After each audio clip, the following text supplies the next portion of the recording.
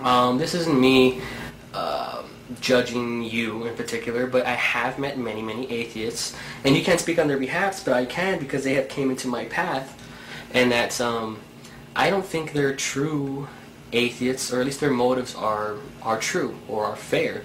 Um, you can't just, in my opinion, call yourself an atheist just because you've seen no evidence of God. Then that would make every human being on this planet an atheist. First of all, I most certainly am an atheist because of a lack of compelling evidence for gods. What other reason could I possibly need? And secondly, you just acknowledged that there is no such evidence for gods, and yet you believe. Why? If you've had some sort of personal experience or revelation that has convinced you that gods or a god exists, then that's fine. I can't possibly refute that. My question is, why should anyone else believe it? I do have to say that the whole idea of God, um, this word God, amongst all religious people is that you do have to take a leap of faith. And I talk about this leap of faith um, on many of my blog TV sessions and on many of my other videos, uh, which I do recommend you inquire.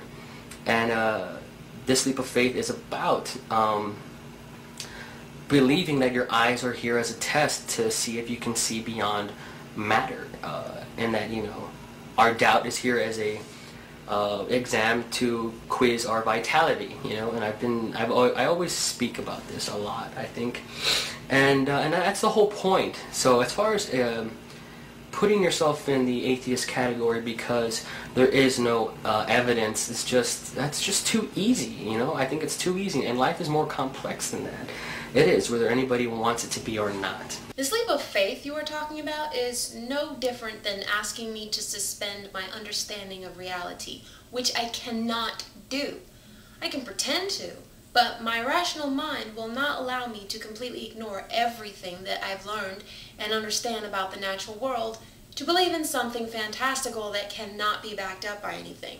This is why I've always believed that people believe in gods either because they never really critically examined what they believe or because they just desperately want it to be true.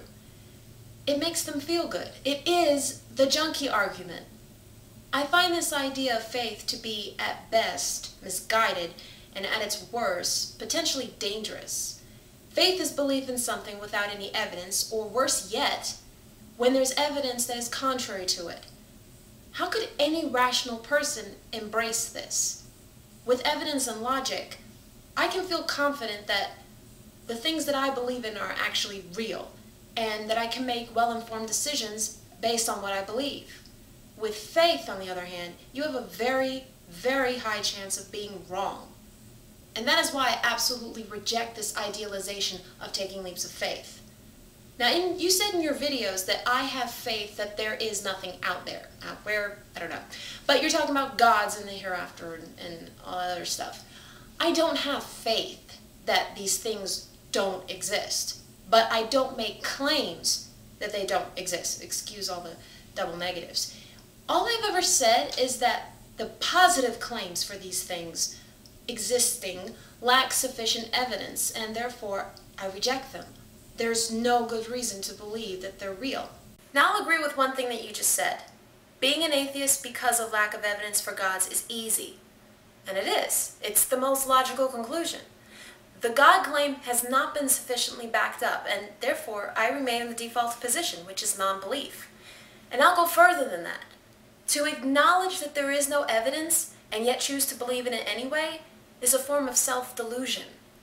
You believe in it because you want it to be real, but faith has never made anything real. I'm going to repeat something that Agnostic Man 77 said in one of his recent videos, which I couldn't agree with more. Arguing for something's existence is stupid. If something exists, it should be able to manifest in some way that is observable. Now please try not to misinterpret what I just said because I know I'm going to get bombarded with a bunch of brainless comments like, oh, well, you only believe in things that you can see. I've gotten enough of that from people. No, existence must be demonstrated to be accepted as fact. And arguing a case for something's existence is retarded. the question that the questions that I want to ask you is why are you an atheist? You know, you must get this a lot, but I want to know why. You know, did you grow up Catholic? Did you grow up with um, religion?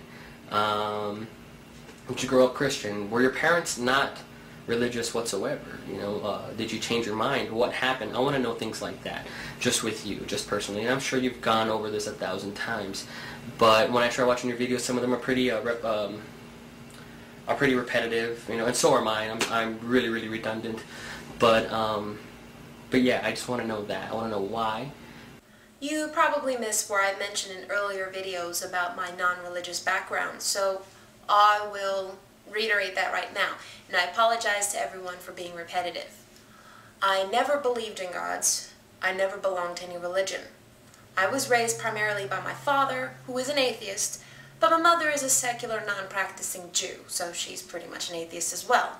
Now, I was not raised to be an atheist.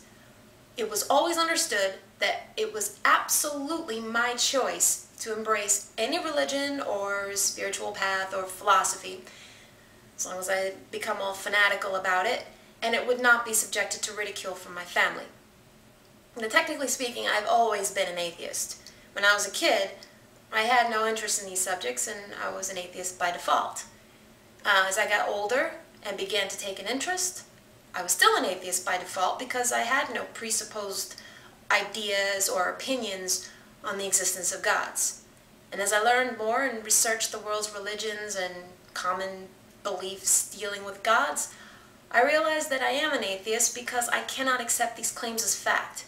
It's not because I read one Richard Dawkins book or I saw some Christopher Hitchens interview or I saw a few videos by The Amazing Atheist. I am not so easily swayed. Now as for my motives, I didn't come to YouTube to sell an idea or to convince people to be, to be like me. I would prefer if more people accepted reality for what it is, but I am certainly not trying to paint a picture of the grass is greener on my side of the fence. I didn't come to attack people's beliefs or to start flame wars, certainly not to hate anyone. Generally speaking, I don't have a problem with Christians. I don't look at people like Venom Fang X and conclude that people like him represent mainstream Christianity. And while I do not dislike people who are religious, I do dislike people who are willfully ignorant. And I especially dislike people who are bigoted and hide behind their religion as a means to justify their bigotry. And when they attempt to infiltrate legislature with their dogmatic nonsense, I will get pissed off, and for good reason. But I don't like getting angry. I came here because I want to engage people. People fascinate me, and I like watching them. I've said this before. It really intrigues me that so many people are willing to accept ideas simply because they're possible. It's possible that gods exist. It's possible that we have literal souls that survive brain death and will live forever. It's possible that the universe has a consciousness or some big giant head created it and controls it. It is possible because anything is possible. It's possible that I'm not a real person. I could just be some CGI character that some computer geek created and is just trying to get one up on everybody. It's possible.